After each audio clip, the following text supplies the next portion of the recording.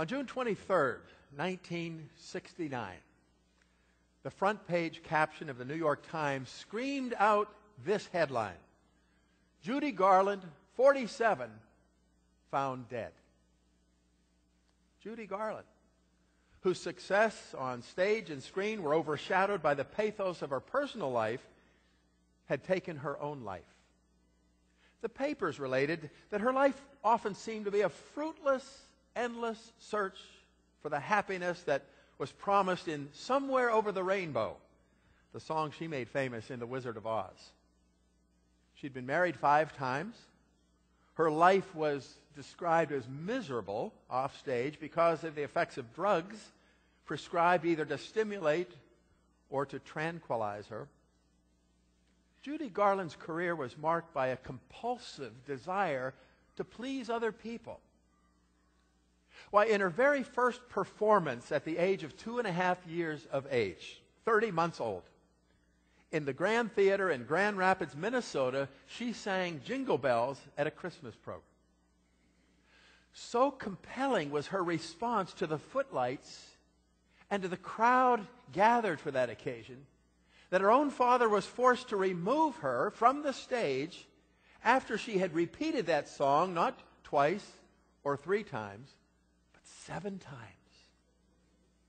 According to one newspaper account, and I quote, the other side of the compulsively vibrant, exhausting performances that were her stage hallmark was a seemingly unquenchable need for her audience to respond with acclaim and affection.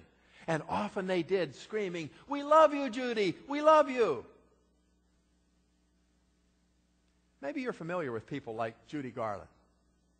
People who are often driven by a desire to please other people. You may be among them. In fact, if we're brutally honest with ourselves, I think we all hunger for the approval of other people to different degrees.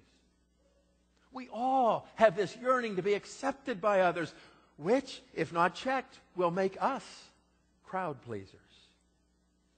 Now, this morning we're continuing our series of Sunday morning messages on the theme, the well, based on the story of the woman at the well in John chapter 4 and indirectly on Mark Hall's book entitled The Well. And this morning we're focusing on the hole of approval. The hole of approval. Now, the hole of approval is so subtle and so self deceiving that sometimes I think we're not even aware that we're in that hole. But we all get there simply because we all hunger for the approval of others. I hunger for it, I like it, and so do you. I want to clarify up front that pleasing others is not all wrong. Understand that. Pleasing others is not all wrong. God created you and me as social beings. The Bible constantly uh, refers to the honor that will come to you by living a life that's in harmony with Jesus Christ and also with your fellow human beings. We're to love the Lord our God with all of our hearts, but we're also to love our neighbors, our fellow human beings, as we love ourselves. This implies a relationship in which we do that which pleases others. There's no premium on cantankerous living. And yet, this God given social instinct can become a compulsion that separates us from our primary relationship of faith in Jesus Christ. When we allow ourselves to be driven by this instinct, there's nothing but trouble ahead. To me, there's no more tragic figure than the person who's trying to walk the course of always trying to please people. Look to contemporary life for examples. Look to secular history. Look to the pages of the Bible. In all three places, you'll see many biographies of men and women compulsively driven to be approved by others. Pontius Pilate happened to be one of these. This isn't the time of year we normally talk about Pontius Pilate but it's so appropriate for this particular theme. I'm sure you're familiar with that fateful evening when Jesus was betrayed by Judas Iscariot into the hands of the Jewish leaders. You'll remember how he was dragged before the high priest, Caiaphas. The next morning, these same religious leaders placed Jesus before Pilate, the procurator of Judea, the official representative of Rome. They made accusations against Jesus, endeavoring to turn the Roman ruler's mind against Jesus. Pilate was very shrewd in his observation of human personality. Pilate noticed what these men were up to. He spotted their jealousy, their envy that was driving them in their attempt to have Jesus crucified. In verse 10 of Mark chapter 15, it says, Knowing that it was out of envy, there's the word, it was out of envy that the chief priests had handed Jesus over to him. Always the clever politician, Pilate found a way to have the innocent Jesus released. He had it figured out. So you know how he selected a convicted murderer by the name of Barabbas and offered either his release from prison or the release of Jesus. He hedged his bet that it would be Jesus that they would want to have released, but he underestimated that crowd. Uh, he underestimated their fury. He underestimated their desire to have Jesus crucified. Drawing back in surprise, Pilate released Barabbas, and then he asked the crowd, What shall I do then with this one that you call the King of the Jews? Crucify him, the crowd cried out. Pilate asked them, Why? What crime has he committed? But they simply amped up the volume and shrieked again, Crucify him. Now, Pilate's in a jam. In his heart, he saw Jesus as innocent. At the same time, he wanted to please his Roman superiors, including the emperor in Rome. He also wanted to be sensitive to the legitimate followers of Jesus, who seemed to be reasonably benign and non incendiary. He also wanted to be fair to his own conscience. conscience. And he also wanted to at least acknowledge his wife's uh, warning that's recorded in Matthew's gospel, where she had said, Don't have anything to do with that innocent man because I've suffered a great deal today in a dream because of him. Ah, but now we see the basic weakness in Pilate's personality. Matthew tells us when Pilate saw that he was getting nowhere, but that instead an uproar was starting, he took water and washed his hands in front of the crowd I am innocent of this man's blood, he said. It is your responsibility. And then comes the historical record of Mark, who writes in verse 15 of Mark 15, wanting to satisfy the crowd, Pilate released Barabbas to them. He had Jesus flogged and handed him over to be crucified. Here was a crowd pleaser. Here was a man who wanted to desperately defend his own position. He wanted power, he wanted prestige, he wanted popularity. Pilate's motivation shows up in the words, wanting to satisfy the crowd. Or as it puts it in a more contemporary translation, desiring to please the crowd. Let me ask you, are you a crowd pleaser? Is pleasing others the most important thing in your life? Do you find yourself in situations in which you know what is the right thing to do or say, but you tend not to do it because of what others might say, because of peer pressure. A friend of mine with a drinking problem once looked me in the eyes and said, I really don't want to drink. But you know, I can't run the risk of losing my friends and not getting invited to the parties that I want to go to. A businessman who was shaky in his ethics once told me, I just have to go along with the way of, uh, this way of doing business. It's expected of me. He said, I can't survive doing it the Christian way. Seems that a lot of politicians work hard every day trying to satisfy and please their constituencies, even when it means flip flopping on particular issues. But the fact is that most people that I know at least don't really respect a person whose modus operandi is that of crowd pleasing. Why is that? Well, for one thing, if you're trying to please everybody, you're going to be somebody that you weren't meant to be. God created you and me to be single minded persons, not double minded. A double minded person, one who loves Jesus but also lives for the approval of others, is unstable in all his or her ways, according to James. A single minded a single minded person's life is marked by stability, by integrity, by faithfulness to Jesus Christ. A second reason there's no future in being a crowd pleaser is that you can't please everybody all the time.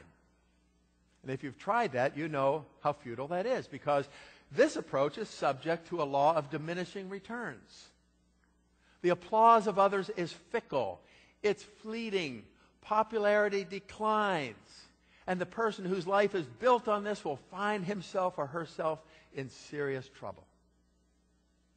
Just ask Tiger Woods, who was at the top of the golf world just a few short years ago, arguably the best golfer to ever play the game. But when his personal problems burst onto the world stage, not only did his golf game suffer, but the applause stopped. And until very recently, when he's won a couple of tournaments, people were bombarding him with the question, What's wrong with your game, Tiger? Some former pro athletes whom I know personally made the mistake of assuming that the cheering would never stop. They didn't save their money. They didn't plan ahead. And when their playing careers were over, they found themselves addicted to the applause of others to, to the extent that they really didn't know how to function. On the other hand, the Jesus follower who sees popular acceptance as an occasional fringe benefit is secure within himself or herself because he's not dependent upon human praise. How dependent upon are you upon the praise and the adulation of others? Ultimately, friends, we live for the applause and the praise of just one. One person. So that in the good times, in the bad times, and in all of the in between times, we rest in knowing that God is with us, even if we're serving Him all alone. Another reason in being a, uh, that a, being a crowd pleaser makes no sense at all is that you pay a very big price when you try to please everybody. Nothing you do will have a cutting edge to it. Your service for Jesus will be blunted. It'll be dulled by your efforts to make everybody happy. The pastor who tries to please everybody in the congregation cannot be a prophet.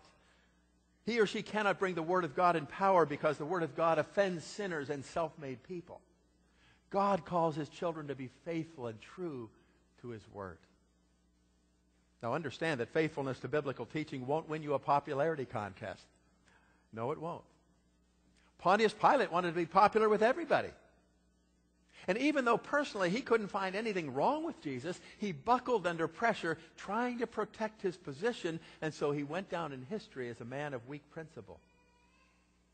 Now, if you and I are to avoid falling into the same hole of approval that these men fell into, we've somehow got to get some handles on this tendency to be crowd pleasers. Because if we don't, it will strip us of spiritual power. Somebody has rightly said, trying to make everybody happy makes nobody happy. So let me mention in closing five what I would call straightforward spiritual action steps that you and I can take when pleasing others becomes most important in our lives. All right? Number one, give yourself, and by the way, there's a little outline in the bulletin if you want to fill that in, in, in the blanks there. Number one, give yourself a new 100% to Jesus Christ. That's a way of saying put him first in your life and focus on his opinion of you because his opinion and his say is the only one that really matters at the end of the day and at the end of life. I like what Mark Hall says in this chapter on the hole of approval. He says, What's true about you is what God says about you. That's what's true about you. So make him the one you want to please. Let everybody else take a position in line behind that. Ask yourself, is my first and my primary allegiance to Jesus?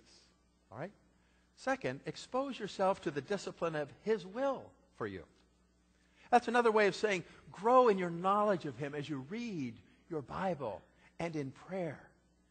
That's where about 95% of God's will for your life and mine will be discovered. Again, Mark Hall in this chapter on the, in his book on the well says, When I walk with Jesus, spend time in prayer, fellowship with other believers, and listen to his nudges, the favor of others doesn't drive me or derail me. Jesus completes me. When I walk into work, I don't need my boss to stroke me about how great a job I'm doing because Jesus has completed me and told me the truth about myself. I can just bloom where I'm planted. End quote. If you've been exposing yourself to the disciplines of Bible study and prayer, you know that you're on the right track. Number three, hold on to the truth in love. Hear those two words the truth in love. Dr. James Edwards, a man who has climbed major mountain ranges around the world, writes about what he calls the narrow ridge in, ma- in mountain climbing. He makes a point how that there are ascents going up the, up the mountain that are quite wide, walking through meadows at the base of a mountain that are not all that dangerous. He said even a normal mountain face or a rock wall allows the climber to veer to the right or veer to the left in search of the very best line of ascent. But he says a ridge defines your line of ascent. And the margin of deviation from the line of ascent is only as wide as the ridge itself.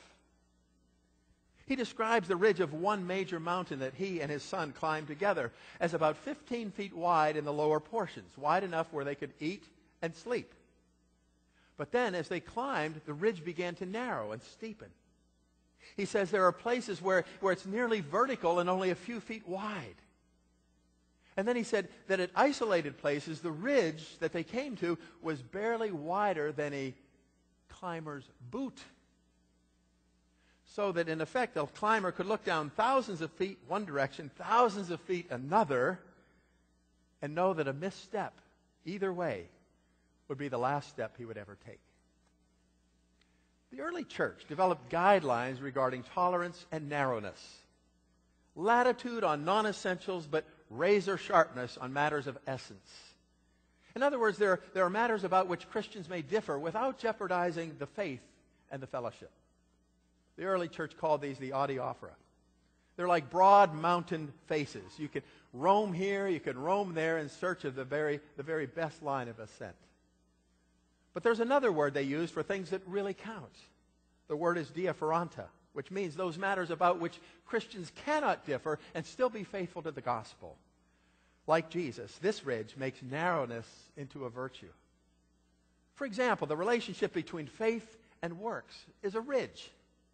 We're saved by faith, but the faith that saves results in good works. A crucial ridge in our faith is recorded in Ephesians 4, verse 15, speaking the truth in love. Neither truth alone nor love alone is the gospel. The truth without love can be inhumane. Love without truth dissolves into permissiveness and sentimentality. Our goal, you see, is to live and speak truth and love. Truth in love. A fourth action step you can take when pleasing others becomes most important is to stick to your convictions. Now, this takes a lot of courage.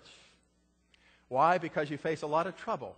You face trouble from those who are non believers in Jesus, as well as sometimes trouble from those who are believers. What to you may be a God given conviction may to them appear to be a compromise. And what to you may be a compromise may to them be a God given conviction. I've seen people who wanted something so badly in life that they compromised their convictions and lived to regret it. They compromised and got the marriage partner that they thought they wanted. They compromised and got the financial gain that made them step over ethical lines. They compromised and they got the job advancement, which happened to betray a friend in the process. Not easy to stick to your convictions, but when you put your head on your pillow at night, you'll feel a lot more inner peace. Now, when pleasing others becomes most important to you, remember, number five, that your reward and your applause is not of this world. As those who follow Jesus, you and I are called to be in the world, but not of the world. Our real identity is as citizens in the kingdom of Jesus Christ. We're here to carry out his direction and his orders. And we look forward to the time when we spend eternity with him in heaven forever. Our reward, the applause we will get, will take place. But it'll take place in heaven at the point that Jesus Christ looks at us and says, Well done good and faithful servant. And I'm guessing that he'll have, he'll have a big uh, cheering section of saints to back him up. Some of us live to be 50 years old, 60, 70, some uh, well into their 90s, and even beyond today.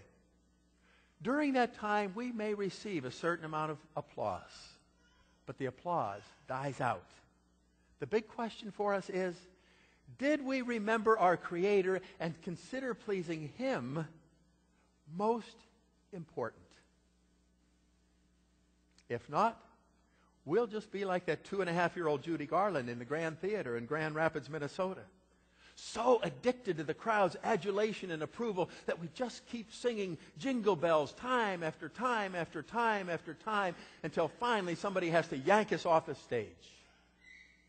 As for me, as much as I like applause, I would much prefer to pass on that in exchange for Jesus' commendation. Well done, good and faithful servant.